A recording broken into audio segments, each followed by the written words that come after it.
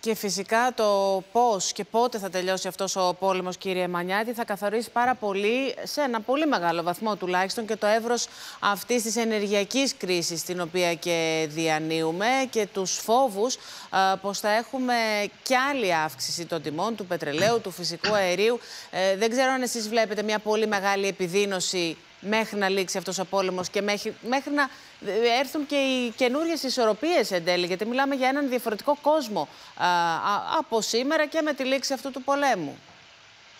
Ε, πριν σας πω μια σκέψη για τα ενεργειακά, να σας πω ότι ε, εμένα εξίσου, για να μην σας πω περισσότερο από τα ενεργειακά, με φοβίζει ο, ο δυστυχώς επερχόμενος επισητιστικός κίνδυνος. Διότι ε, αυτό που φοβάμαι πάρα πολύ ότι θα συμβεί στην Αίγυπτο, το Μπαγκλαντές, το Πακιστάν, την Αφρικανική Ήπειρο συνολικά, θα είναι κάτι που ε, ο Παγκόσμιος Οργανισμός ε, Τροφίμων το χαρακτήρισε ως πιθανή κόλαση.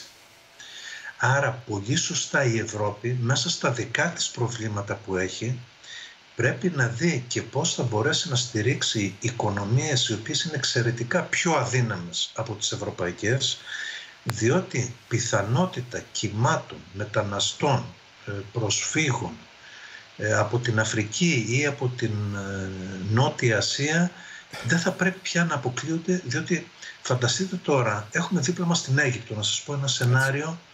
Η Αίγυπτος από τα 100 εκατομμύρια κατοίκους στα 70 εκατομμύρια τους επιδοτεί το ψωμί τους.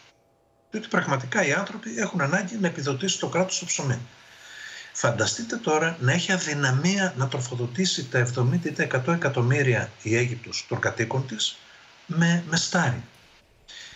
Δηλαδή τα πράγματα μπορεί να γίνουν ανεξέλεκτα. Γι' αυτό πολύ σωστά το Συμβούλιο το Ευρωπαϊκό σήμερα και ο Έλληνας Πρωθυπουργός ανέδειξαν και αυτό το θέμα και επαναλαμβάνω τα Ηνωμένα Έθνη, άρα ας το έχουμε και αυτό υπόψη μας, διότι μην νομίζετε ότι δεν καιροφυλαχτούν σε χώρες όπως η Αίγυπτος οι περίφημοι αδελφοί μουσουλμάνοι.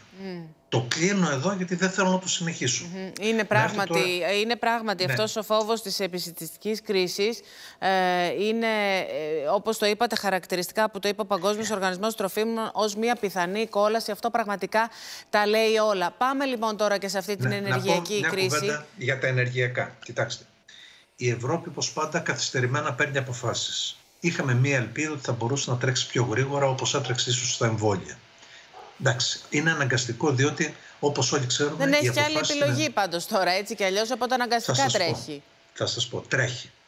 Όχι όσο, όσο απαιτούν οι περιστάσεις, αλλά πολύ πιο γρήγορα από τα συνηθισμένα της Ευρώπης. Όπως ξέρουμε, οι αποφάσεις στην Ευρώπη παίρνονται με βάση όχι κομματικά ή άλλα άλλε τοποθετήσεις κυβερνήσεων, αλλά με βάση τα εθνικά συμφέροντα. Ό,τι συμφέρει την κάθε χώρα, ανεξάρτητα ποιος κυβερνά κάθε φορά. Στην Ευρώπη, λοιπόν, έχουμε τρεις κατηγορίες χωρών είναι η Ιβηρική Χερσόνησος, Ισπανοί, Πορτογάλοι που δεν επηρεάζονται καθόλου από το ρωσικό φυσικό αέριο.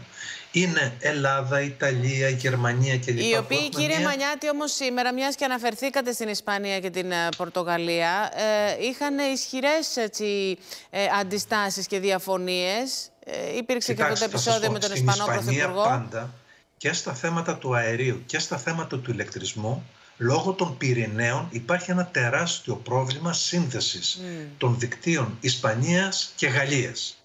Άρα ε, εγώ ανέμενα τέτοιου είδους ε, συμπεριφορές εκ μέρους της Ισπανίας. Να γυρίσω τώρα στις χώρες. Εμείς ανήκουμε στις χώρες που έχουμε μία μεσαία εξάρτηση της τάξης του 40-50% όπως και η Ιταλία, η Γερμανία κλπ. Και υπάρχει και μια μεγάλη ομάδα χωρών που έχουν εξάρτηση της τάξης του 80-100% δηλαδή Αυστρία, Λιθουανία, Φιλανδία, Ουγγαρία κλπ. Αυτά τώρα το Συμβούλιο, ε, το Ευρωπαϊκό Συμβούλιο πρέπει να τα συγκεράσει σε μια νέα στρατηγική. Γι' αυτό είναι λίγο δύσκολο να υπάρξουν κοινές ε, ε, ε, προσεγγίσεις.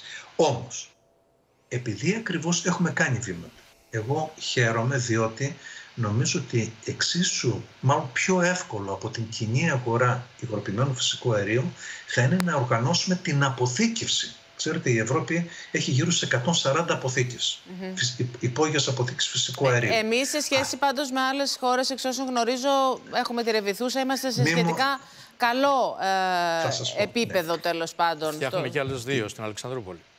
Την, τη Ρεβιθούσα την αναβαθμίσαμε το 2014 κατά 70%. Είναι πια μία από τις καλές ευρωπαϊκού επίπεδου υποδομές.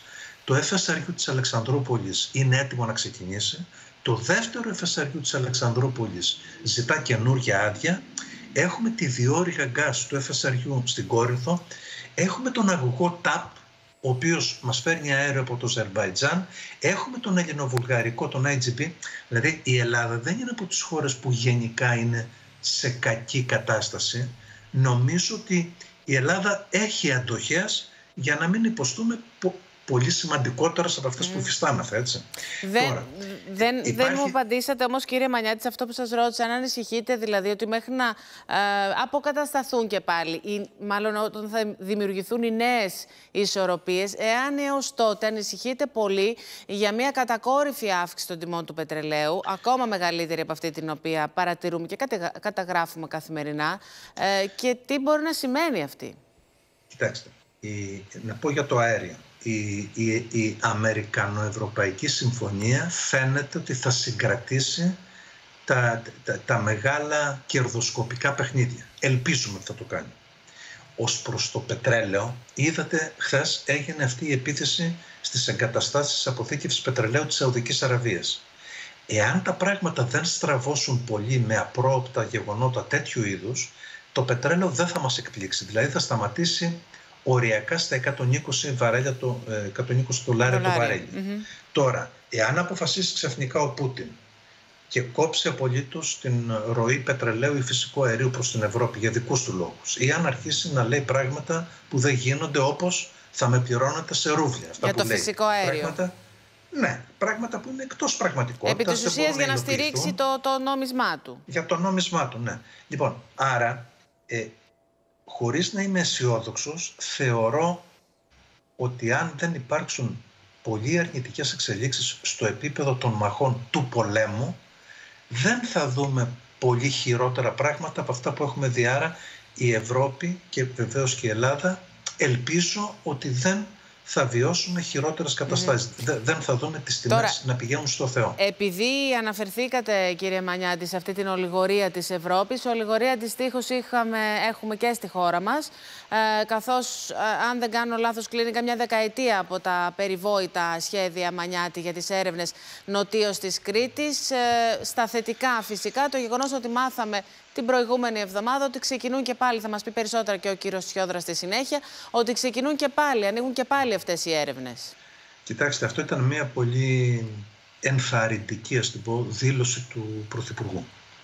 Ε, λυπάμαι να πω, ε, ο ρυθμός που είχαμε αναπτύξει το 2011-2014 και προχωρούσαμε γρήγορα, όπου εγκαταστάθηκαν σε 12 θαλάσσιες περιοχές της χώρας πολύ σοβαροί ανάδοχοι, κορυφαίοι ανάδοχοι, διεθνούς επίπεδου, τα προηγούμενα 5-6 χρόνια σταμάτησε αυτή η ιστορία. Για πολλούς λόγους, και εθνικούς αλλά και ευρύτερους. Δηλαδή κάποια στιγμή η Ευρώπη έκανε το λάθος και θεώρησε ότι στο πλαίσιο της πορείας μας προς την πράσινη μετάβαση, που είναι πολύ σωστή, πρέπει να πάμε στην πράσινη μετάβαση. Ξέχασε ότι για τα επόμενα 30 χρόνια θα χρειαζόμαστε ποσότητες φυσικού αερίου. Θεωρούσε ότι πάντα θα έχουμε ομαλή τροφοδοσία της Ευρώπης από το ρωσικό φυσικό αέριο. Μάλιστα. Οι χειρότεροι, αυτοί που το πάθανε χειρότερα, είναι η Γερμανία. Έτσι. Οι Γερμανοί είχαν, είχαν εμπιστευτεί όλοι τους την ενεργειακή πολιτική στον Nord Stream 1 και τον Nord Stream 2. mm Και ξαφνικά τρέχουν τώρα σαν τρελοί να εγκαταστήσουν δύο καινούργιες μονάδες λοιπόν. σαν τη ρεβιθούσα που έχουμε εμείς. Άρα ε, η Ελλάδα είναι αρκούντους νομίζω θωρακισμένη. Ασφαλώς και πρέπει να έχουμε τα μάτια μας ανοιχτά για τις έρευνες που μου είπατε, μακάρι να στείλουμε και ένα μήνυμα προς αυτούς οι οποίοι σε θέματα εθνικού συμφέροντος ε, κάνουν ενστάσεις και το Συμβούλιο Επικρατείας αναβάλει για τέσσερις φορές τη λήψη αποφάσεων, τουλάχιστον η δικαιοσύνη να παίρνει αποφάσεις, ειδικά για μεγάλα θέματα, γρήγορα, κανείς δεν μπορεί να επηρεάσει την ουσία των αποφάσεων, αλλά οι αποφάσει να παίρνονται γρήγορα, διότι όταν πρόκειται για μεγάλες επενδύσεις, ο οποιοδήποτε επενδυτή δεν μπορεί να περιμένει 5 και 6 χρόνια. Κύριε Μανιάτη, σας ευχαριστούμε. Ότι θα ανοίξουμε θετικότερο βηματισμό το αμέσως χρονικό, επόμενο χρονικό διάστημα.